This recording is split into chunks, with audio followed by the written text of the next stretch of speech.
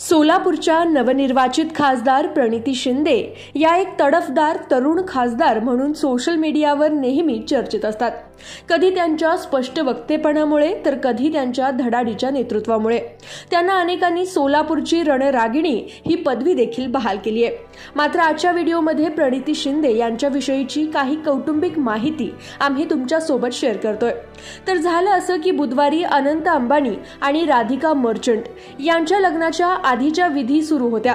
आणि या कार्यक्रमासाठी जानवी कपूर सोबत तिचा बॉयफ्रेंड शिखर पहाडिया एकत्र दिसले. आता तुम्हाला प्रश्न पडला असेल की जानवी कपूर आणि प्रणिती शिंदे यांचं काय कनेक्शन तर या दोघींमध्ये सासू सुनेचं कनेक्शन आहे हे आपल्याला पुढच्या काही काळात पाहायला मिळेल. शिखर पहाडिया हा प्रणिती शिंदे यांच्या थोरल्या बहिणीचा मुलगा. प्रणिती शिंदे यांच्या थोरल्या बहीण म्हणजे स्मृती शिंदे पहाडिया. स्मृती सुशील कुमार शिंदे या फिल्म प्रोड्युसर म्हणून काम करतात.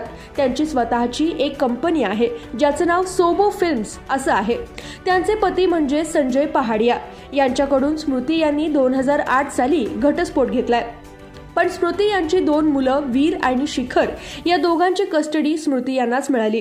तुझ्यात जीवरंगला राजा बेटा यासारख्या अनेक मालिकांमध्ये निर्मात्याची उत्तम भूमिका त्यांनी बजावली मात्र सध्या त्यांचा मुलगा शिखर पहाडिया हा सिने अभिनेत्री जान्हवी कपूर हिला डेट करतोय.